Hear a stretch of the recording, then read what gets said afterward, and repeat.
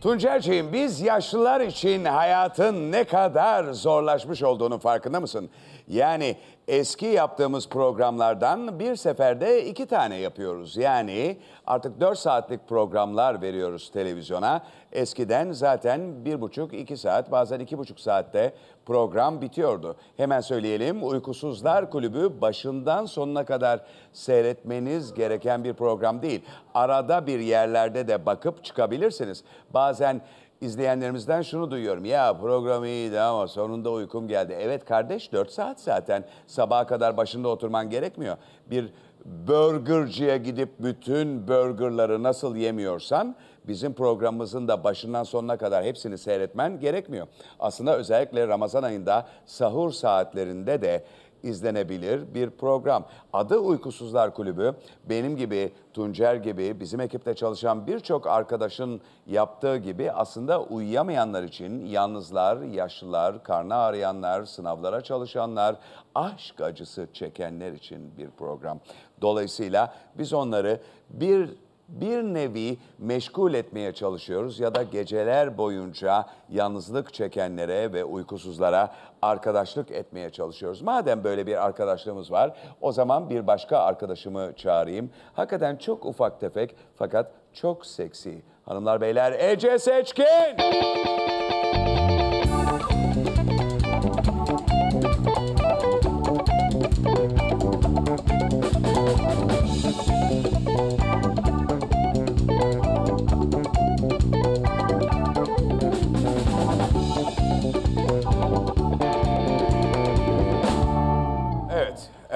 Ben de ufak tefek fakat güçlü bir erkeğim farkındaysan. Onun için özellikle hanımefendilerin alnından öpmeye bayılıyorum. Teşekkür fakat ederim. düşün ki hayatta kaç kere bu şansı elde ediyorsun? Yani evet şanslıyım. O da ne? Yani alnından öpebilmek Aa, evet, için evet, doğru. daha önceden potaya çıkıyor olmak lazım. Ben hiç Doğru potaya çıkamadığım için onun için hanımların alnından öpemiyorum ama senin gibi çok seksi ve çok güzel, Ay, çok teşekkür zarif ederim. hanımların her zaman alnından öpmek istiyorum. Başka bir hanımefendi olduğu zaman onu kafasından tutup aşağı doğru bastırmak zorunda Zorlar. kalıyorum ki alnından öpeyim diye. Kolay bir şey değil tabii. Çok hoşsun. Ee, bir pilot sevgilin var bildiğim kadarıyla. Senin özel hayatına gireceğim ve dibine kadar gideceğim. Yani nasıl söyleyeyim bir şarkı var hani dibine dibine miydi şarkı? Neydi o? Kimin şarkısıydı o? Dibine dibine dibine dibine. Bilmem tanıdık geliyor. Tanıdık geliyor. Dibine de biraz mırıldanır mısın o şarkıyı? Ne ne ne ne ne ne Ulan ne ne ne ne şarkı yok. Lütfen lütfen lütfen. Nasıl şarkı? Söz. Bundan sonra seyretsen göreceksin şimdi beni de Bir göreceksin şimdi. beni de Ha göreceksin beni de sonra. gezeceğim tozacağım eğleneceğim vuracağım dibine dibine. Okey. Şimdi bak. Her zaman senin sözlerinle O kadar iyi biliyorum ki başıma gelecek var. şeyleri. Okan Şimdi abi. birçok insan atarlı şarkı yazıyor. Mesela Demet Akan, o kulübün ortasında oynuyorum, e, telefonumu da duymuyorum.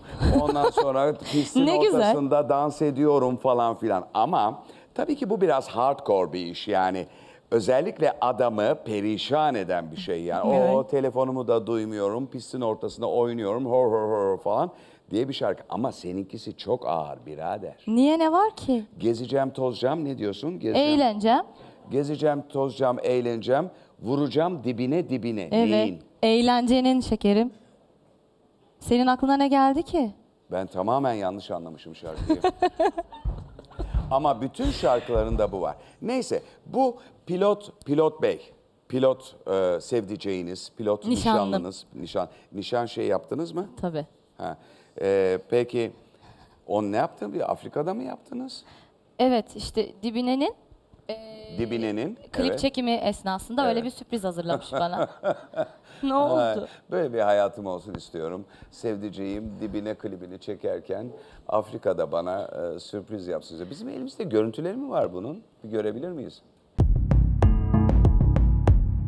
Dışarıda bir, şu anda kocaman bir ateş yanıyor. Zuluların büyü yapma törenini gerçekleştireceğiz. Dur. Dur. Şimdi bir dakika. Affedersin yani bir bizim e, gelenek göreneğimize göre bir şey yapamaz mıydın? Zuluların e, nesi büyü bilmem ne? Ya orada işte şifacı olarak adlandırılan bir kız var.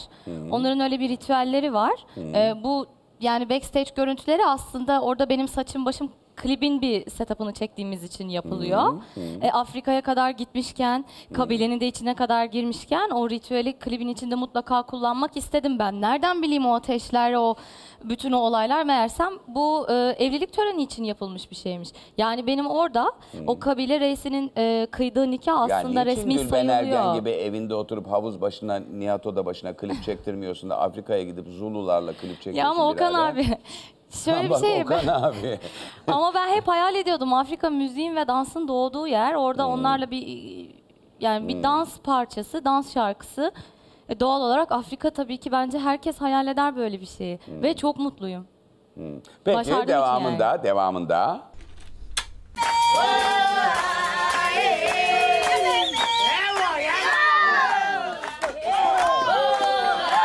Dur, orada ne oluyor? Kim sana yaklaşan? İşte o şifacı kız e, orada kendi ritüelinde bir şey yapıyor da benim tabii aklım çıktı. Videodan anlaşılmıyor korkudan. O kadar çok bağırıyor ki çünkü dedim ki bir şey oluyor Ya herhalde o, o, kızcağız. o zaten Afrika. Peki Evet.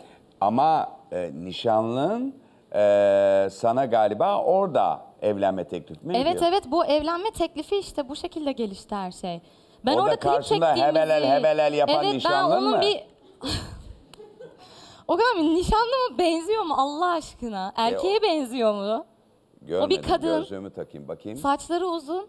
Evet göreyim. Just blow again. Yo. Yeah. Yo. Dur bir dakika sana kusman için bir şey mi veriyor? Hayır şöyle o işte bir kesesi var. Ee, onun içinde böyle e, bir şeyler vardı işte zar vardı. Atıyorum e, böyle kemik gibi bir şey vardı. Ne olduğunu anlam taşlar vardı. Ondan sonra üfle dedi. İki Ha, kere üfle diyor. üfletti. Her genç kızın Fal hayali, bakıyor bana. Geleceğimi anlatıyor. Zaten ikinci üflettiğinde e, şey dedi hani çok e, bir, bir aşk görüyorum dedi ve işte galiba şu andan itibaren hayatın değişecek falan dedi. Üçüncü sefer attı. Bir kutu çıktı.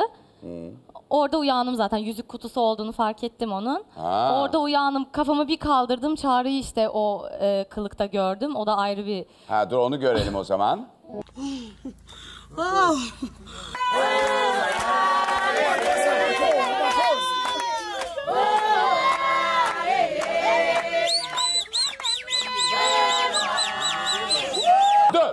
Yani ben de böyle evlenmek istiyorum. O zaman gitmen lazım. Kim olursa olsun evlenebilirim bu şekilde böyle hele böyle giyinmiş olursa muhteşem. Ama ben e, nişanlımla tanıştım hiç böyle bir adam değil. Çok efendi bir adam oturuyor sesi İyi canım, çıkmıyor. Çok filan. ağır bir adam aslında. Çok ağır. A- aşırı derecede sıkıcı bir insan. Yani Hayır, bir gece sıkıcı beraber değil. oturmuştuk hakikaten yani bu kadar Yani öyle konuşmayan deme. pilot bildiğin hani pilot. Ya deme öyle. Çok havalı ve çok seksi bir şey bence. O mu? Bence tek seksi olduğu yer burası. Yani Ee, ama burada- evde sürekli böyle giyinip heve heve heve diye Yok. geliyorsa olabilir tabii ki. Yok ya. evde e, ö- öyle bir durumumuz yok. Ya eğlen çok aslında çok eğlenceli bir adam. Eğlenceli mi? Düşünsene hani Ama ben gece hayatında yani biz bir yerde oturduk ya hep birlikte. Ee, orada hakikaten hiç seksi değildi ve çok çok ciddiydi ama belki tabii toplum içerisinde tabii bir de seni temsil ettiği için böyle olmuş olabilir. Evet ağır bir ağır biridir. Benim tam tersim. Hatta bizim ikimizi de e, tanıyan insanlar hep şey derler. Yani hani birbirinizde e, ne buluyorsunuz bu kadar iki uç ayrı insanlarsınız. Beni çünkü biliyorsun ben sürekli böyle bir tipim. O da böyle beni izle beni izlerken zaten yoruluyor adam. E, ama herhalde işte böyle tamamlıyoruz galiba biz de. Bu adamla birbirimizi. evlenmek istediğine emin misin? Evet kesinlikle. Evet peki o zaman sen bilirsin. Tamam. peki devam. Tehlikeli.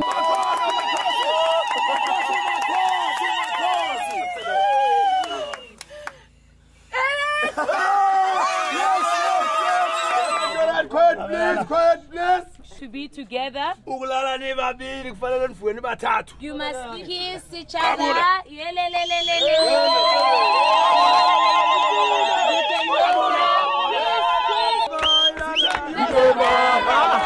Tam olarak anlayamadım. Sizi bir e, zebra postuyla örtüler. O gerdek bölümü müydü? Galiba. Ama o da o da ritüele uygun bir şey değil mi? Hani beraber bir postla örtüyoruz ve ikisini bir araya En- getiriyoruz. O zordu evet. Evet. Evet. O zordu. Ee, evet. O enteresandı. Güzel ama evet. Ama çok hoş bence. Ömür boyu unutulmayacak bir şey. unutulmayacak Harikulade. Peki, e, şimdi diyorsun ki boyumla ilgili yapılan komik yorumlara da gülüyorum. Hangi komik yorum yapılıyor? Yani mesela diyorlar ki e, evin gardırobunu açsam mesela içinden Ece Seçkin çıkacak Doğru, gibi evet, geliyor. evet. E, hoşuma tatlı değil mi sence?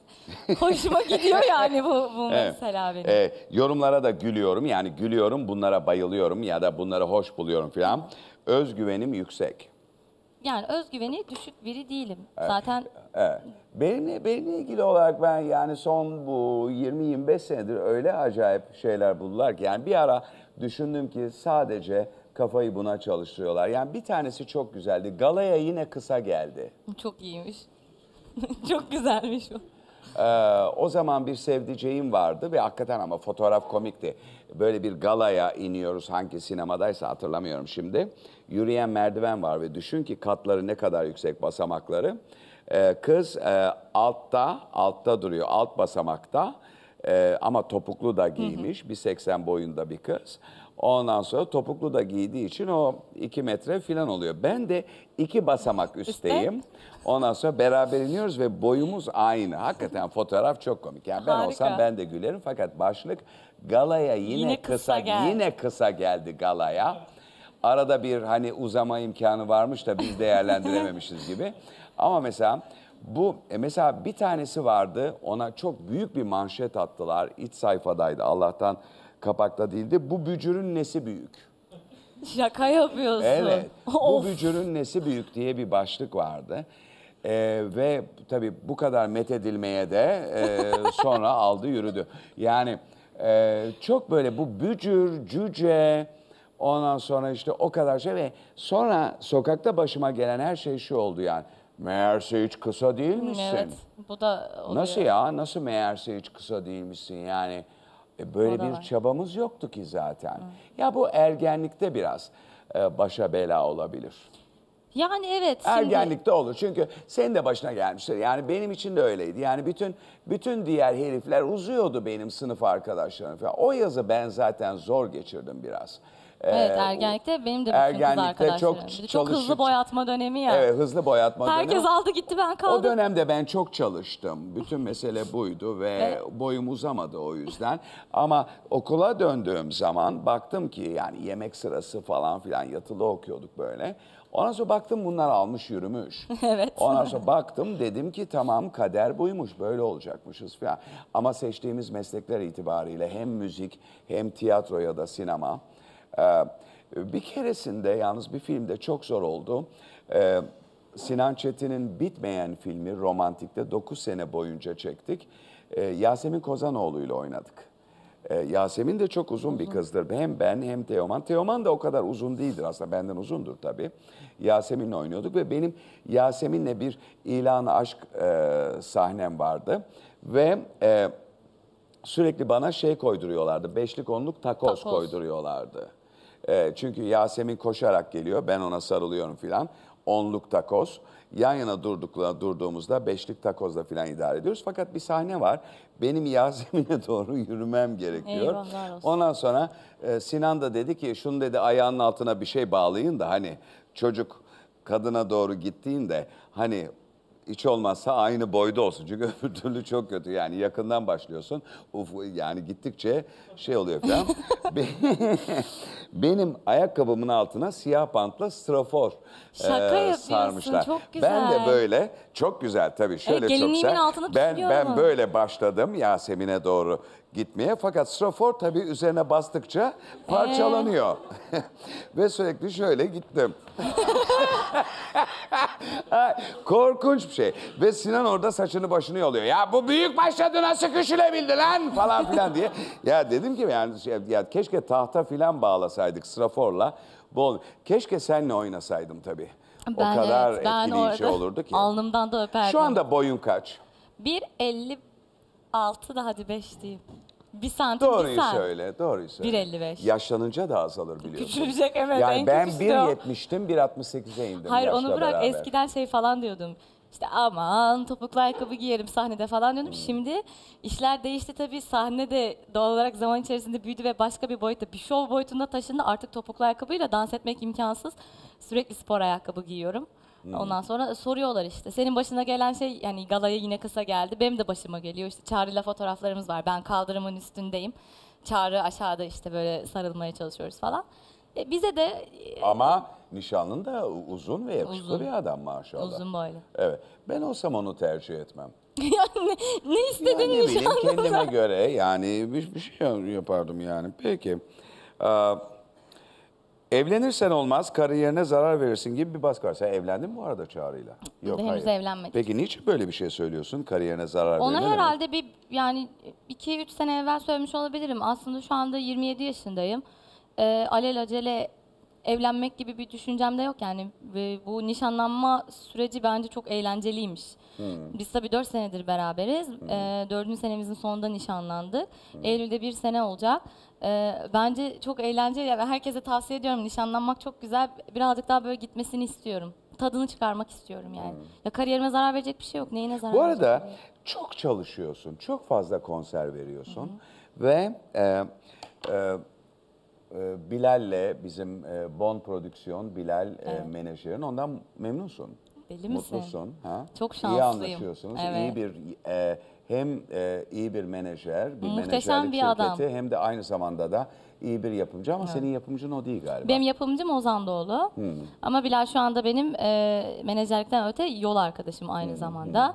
E, benim kariyer planlamamı biz beraber seçiyoruz.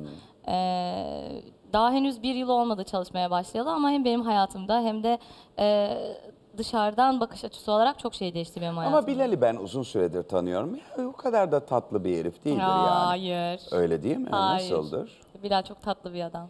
Nasıldır mesela? Çok uğurlu bir adam bir kere bence Bilal. Uğurlu ne demek? Çok uğurlu. Yani işler açılıyor onunla beraber. Yo olunca her, her şey pozitife e, dönüşebiliyor. Her şey yolunda gidiyor. Ve olmayacak bir iş bir anda böyle bir yolu bulunabiliyor, bir olabiliyor. Ben inanırım. Aynı zamanda Edis'in de menajeri. Evet. Edis de memnun mu ondan? Edis tabii ki memnun. Oo, Edis'te de bütün o memnun. patlamalar, fırlamalar, yeni bu büyük büyük 60 bin kişilik, 40 bin kişilik Aynen konserler. Onlar da Bilal'le beraber oldu. Evet. Bu nedir bu? Enrique Iglesias'la ne yaptın? Düet mi yaptın? Evet mesela işte bu da e, Bilal'le beraber gelen uğurlardan bir tanesiydi. Bilal mi buldu getirdi onu? Yok onlar Bilal'i buldu ama sonuçta inanırım buna. Radyo programında da konuşmuştuk. Hani bazı enerjiler ve bazı auralar vardır falan demiştim. Dalga geçmiştim benle ne enerjisi falan diye Her ama zaman seninle bayılıyorum. Sen, seninle evet genelde şakalaşmaya benimle dalga bayılıyorum, evet. geçiyorsun Okan Yani. abi. Doğru burası. Peki bu şarkıların hepsinin bu kadar seksi olmasına ne demeli? Yani dibine dibine öbür bir şarkını söyle. Yani seksi bir şey yok. Ade Hakikaten. ya ne ne ya bunun nesi seksi sence? Hiç seksi değil. Hayır hayır biz senin bir, radyo programı, Show Radyo'daki programında şarkının sözlerine bakmıştık. Hepsi e, hepsinde bir şey vardı yani. E, ne bileyim. Bana belki seksi geliyor. Yani herkes benimle seks konuşmak istiyor o yüzden belki. Yani. Çok severek İngilizce şarkı söylüyorum. Hakikaten söylüyor musun İngilizce? Okan abi yüz defa bu soruyu sordun. Yüz defa da söyledim şarkı sana İngilizce. Olsun. İyi İngilizce şarkı söylemek, söyleyen insan bulmak çok zor. Evet bana ilk daha Okan abinin programına katılacağım. Ee, yine böyle bir konu açıldı falan. O zaman da şeyim be kaç yaşında 24 yaşında falanım böyle. Yine konu buraya geldi. Metallica'dan şarkı söyletti bana ya. Hatırlıyor musun? Evet zorlamışım seni biraz. Biraz mı? Evet, biraz. Peki. Harikulade başka bir adam gelecek şimdi. Sen de seviyor musun onu? Bayılıyorum. Aşırı derecede yakışıklı. Evet. Hanımlar beyler Cem Belevi.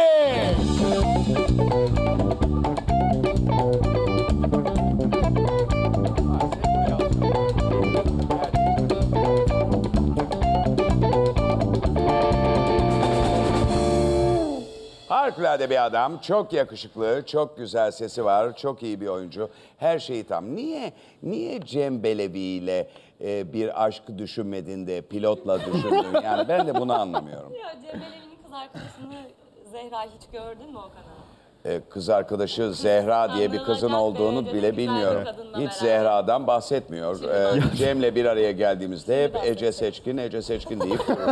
E, Cem şimdi e, galiba hem oyunculuk hem müzik arasında kalanlardan birisin sen de. Yani bu tarafa doğru mu gidelim, bu tarafa mı doğru gidelim? İkisi beraber yürür mü? Ne düşünüyorsun bu konuda? Ya e, hep böyle işte bu soru çok geliyor açıkçası yani. Hani böyle kendimi bunun arasında kalmış gibi asla hissetmiyorum.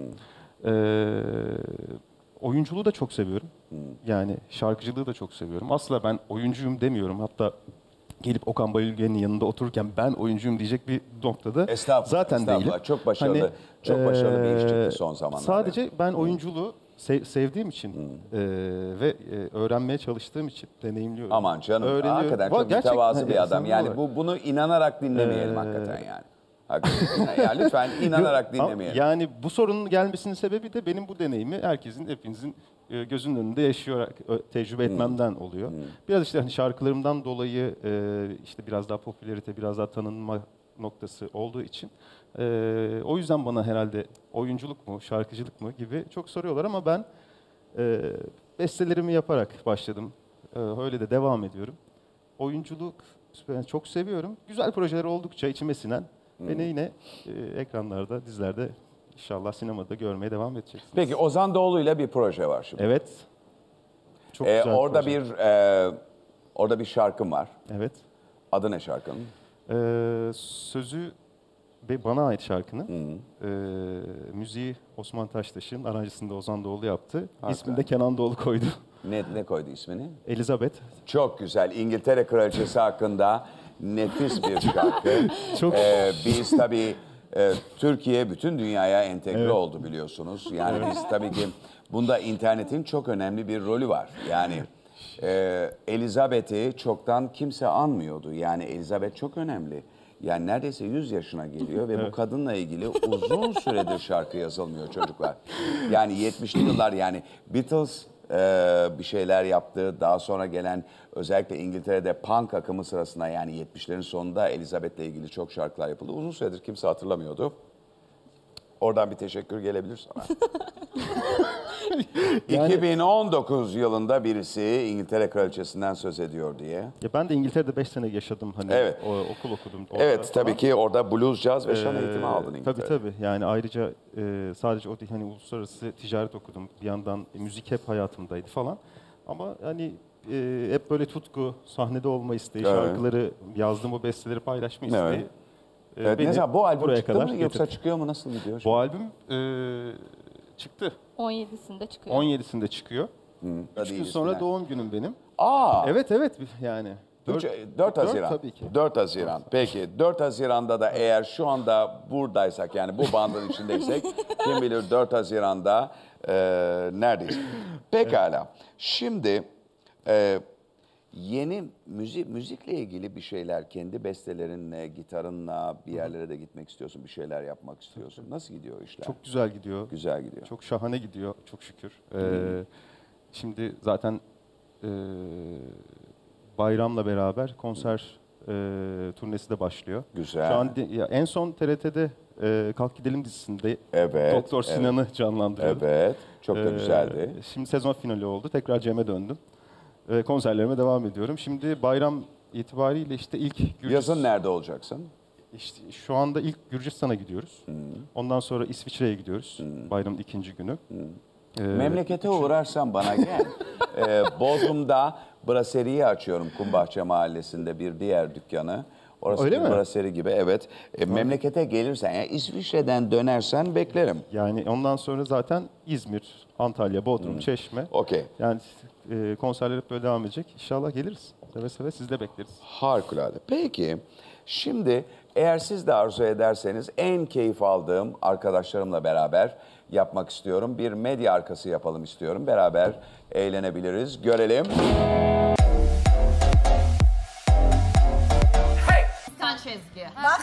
Dur, beni bir saniye Besme teyze. O kelimeyi bana bir daha kullanma. Kıskanç Seni Ezgi. uyarıyorum doğru düzgün. Güzelim Diskalifiye olma uğruna bak ağzından O çok kötü zaman şeyler çıkar. kıskansın Ezgi. Doğru düzgün Ezgi, konuş Ezgi. beni. Tamam. Mahsus yapıyor. O zaman yapma Yakarım sen de. giderim. Sağlıklı ol. Yakarım giderim. Bu inanılmaz güzel bir program. Fakat kadın kadına sataşma denen bir şey var ya, hakikaten feriştahını görüyoruz. Ve çok eğlenceli, çok eğlenceli. Ve özellikle bu programda bir böyle bir e, debdebeli bir şey olduğu zaman, debdebeli sataşmalar olduğu zaman ya da Fatih bir şey yaptığı zaman hemen onu slow motion'a alıyorlar filan böyle. Yani sanki action film seyredermiş gibi bir hava oluyor. Bayılıyoruz. Özellikle Fatih'i çok seviyorum tabii. Görelim. Diskalifiye olma uğruna bak ağzından kötü şeyler çıkarsın benimle. Tamam. Mahsus yapıyor. O zaman yapma sen Yakarım de. giderim. Sağlıklı ol. Yakarım giderim. Hiç kim? Haddini bil. Sen bil canım. Haddini. Sen kimsin bana haddini bil. Haddini bil. Sen kimsin? Ben, ben Bir dakika kesin kes. Hiçbir yere kimse bir yere gidemez. Öyle bir şey yok. Evet ben diskalifiye ediyorum. Dediğim zaman diskalifiye olursun. O zaman Madonna ile devam edelim mi? Aa neler oldu ya? Televizyon yarışmasından bahsediyorsun Evet. değil mi? Ama Madonna'nın e, birinci olamaması çok acayip değil mi? Ya İki kıza bayılıyorum. Onların bazen e, bazen böyle e, erken saatte yayınlanıyor programları ve bazen dünyaya küfrederek yani hayatımdan hiç memnun olmayarak e, tek çare artık bu hayata bir son vermek diye e, kalkıyorum yataktan tek başıma ve e, onları seyrediyorum ve tekrar hayat doluyorum. Çünkü diyorum ki insan ölür giderse bu kadar saçma bir şeyi nasıl bırakabilir? Yani hakikaten korkunç bir olay. Madonna'nın Eurovision yarışmasına katılıp ödül alamamış olması çok ağır değil mi? Ve bunu sadece Türkiye'de iki kız keşfetti. O zaman Madonna ile devam edelim mi? aa neler oldu ya? Olmuş? yarışmasından bahsediyorsun Evet. değil mi? Ama Madonna'nın e, birinci olamaması çok acayip değil mi? Ya Madonna'sın ya. Madonna'sın. Ne yapsan olur yani. Yani evet kesinlikle öyle ama işte e, bu e, şey oylamalar sahne performanslarından sonra gerçekleşiyor. Müthiş bir olay. Yani dünyada sadece bu iki tatlı kız Madonna Eurovision yarışmasına katılıp dereceye giremediği için sadece bu ikisi üzülüyor. Ve onlardan biri diyor ki yahu sen de öyle deme. Ee, oylamalar performanslardan sonra yapılıyor diye Madonna'ya destek atıyor. Yani ve Madonna bunu bilmiyor. Halbuki ben olsam bunu Madonna'nın işte kimi varsa benim de umurumda değil. Madonna'yı da hiç sevmem ha.